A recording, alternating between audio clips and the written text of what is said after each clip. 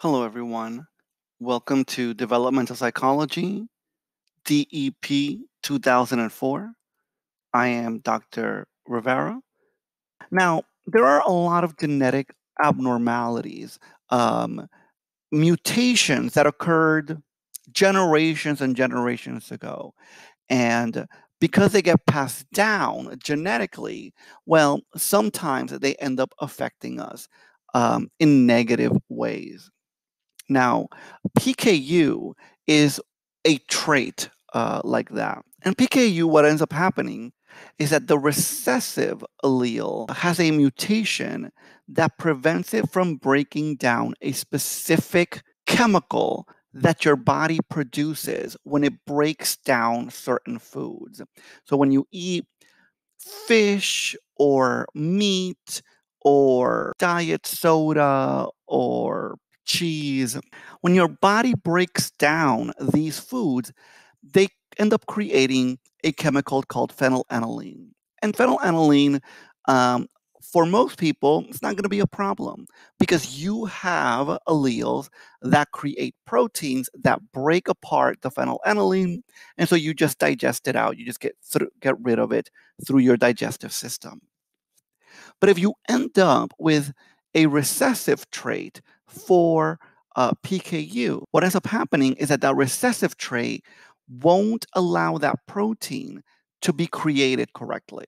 And now that protein can't break down the phenylalanine. And now the phenylalanine might start to build up.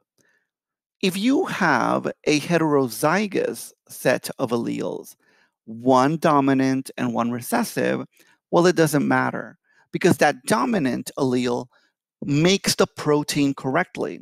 And then that protein breaks down the phenylalanine, and the other one doesn't help because that protein doesn't do anything. It doesn't break down the phenylalanine, but the dominant one does. And so it doesn't matter. You will break down phenylalanine correctly and you will digest it. But if you end up with two recessive alleles, what happens is that neither of your alleles can make the protein necessary to break down phenylalanine. And that means that if you end up eating a lot of fish, dairy, meat, wheat, eggs, things like that, um, your body will create phenylalanine and then it'll start to build up. And the phenylalanine will actually destroy your nerves. That means that when you are a child you will develop normally and you might actually develop into a normal young person. Um, but then, as you get older and the phenylalanine continues to build in your body, it will start to destroy your nerves and eventually your brain. And so, uh, this individual is going to start to regress. Their cognitive skills are going to go down significantly. They're going to have a harder time controlling their impulses. These individuals will often uh, swivel and shake their heads and arms a lot. They'll often want to eat a lot, and it doesn't matter if they get full, they can't stop themselves from eating and eating really fast because the parts of the brain that would tell you, hey, you're full, or hey, slow down, or hey, this is good, enjoy it for a second. Um, all of that essentially has been destroyed. And essentially, this person will develop a cognitive disorder after um, they had developed a normal cognitive ability, probably into childhood and maybe even adolescence. After that, they're going to start to develop a cognitive disorder and they're going to sort of not be able to control their behavior and their thoughts um, quite as well. Now, PKU is a recessive trait, right? Most genetic abnormalities are recessive traits because if you have a genetic abnormality that is dominant, it will usually kill the individual before that individual can pass it down. There is an exception to this, and that exception is Huntington's disease. Huntington's disease is also a neurologic disorder, but it begins to occur in middle age, where essentially the person stops having control over their body.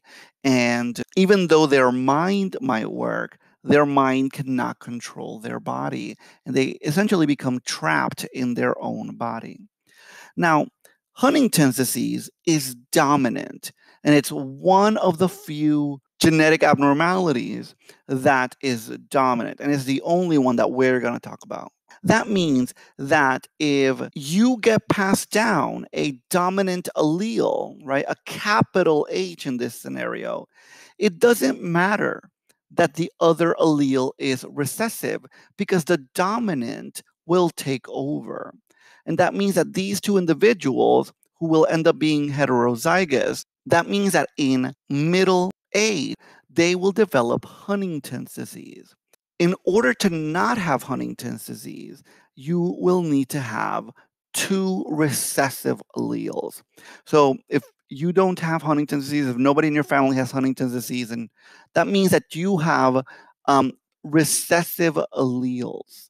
Um, if uh, you know that you have Huntington's disease or that someone in your family might have Huntington's disease, that means that that person has at least one dominant allele. That's all they need is just the one.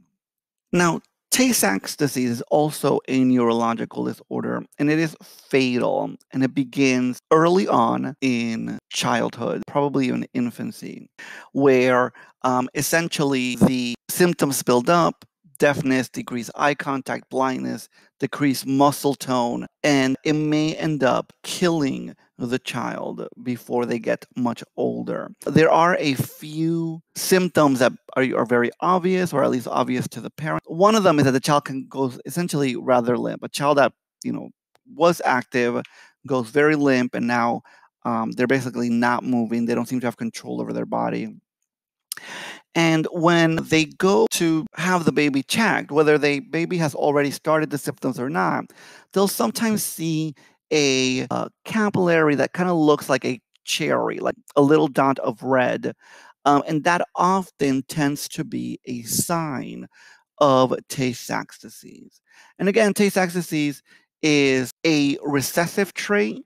That means that in order to have it, you must have the recessive traits, uh, both recessive traits. Um, and so if, you know, neither mom has it nor dad has it, um, and they are not carriers, then they're not going to pass it down to their kids. If mom and dad don't have it, but they're both carriers, they both have to be carriers, um, then they might end up ha- passing it down to about a quarter of their children. Um, again, remember that these uh, Punnett squares aren't telling you like, oh, your first child is going to have this and your second child is going to have that. This is just the chance, um, the odds that the child will end up with that specific trait. And so there is about a 25% chance that one of their children um, is going to end up with Sachs disease in this case. If only one of the parents is a carrier, again, it would be impossible to pass it down because um, either the children will end up with dominant traits or they will end up as heterozygous. Another genetic abnormality that you might go over as you're reading is sickle cell anemia. Now, sickle cell anemia is a genetic trait that affects your blood, specifically your red blood cells. And what happens is that if a blood cell that has the sickle cell trait becomes highly stressed, usually because it's become infected by something, then it will uh, essentially die. It'll turn into the sickle shape, a kind of like a crescent shape. And when that cell is just uh, destroyed and taken out out of your body. Sickle cell, having the sickle cell trait can actually be good um, if you live in certain parts of the planet. And specifically, if you live in certain parts of the planet where malaria um, is prominent, then having the sickle cell trait can actually protect you. How? Well, if malaria attacks the red blood cells, then the red blood cells will turn into sickles and get thrown out. If you happen to have heterozygous alleles, then this is good in these parts of the world because what ends up happening is half of your cells have the sickle cell trait, um, and they will break apart or turn into sickles and get thrown out um, when they get attacked by malaria.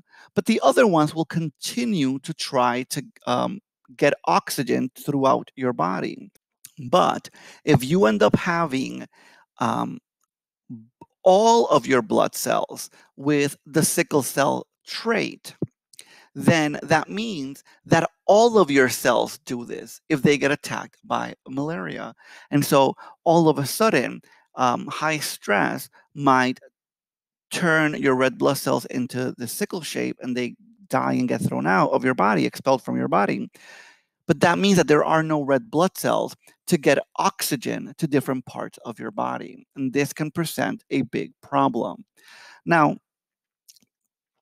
if you happen to uh, not have uh, the sickle cell trait at all, then that means that you have two dominant alleles. That's what probably most people have.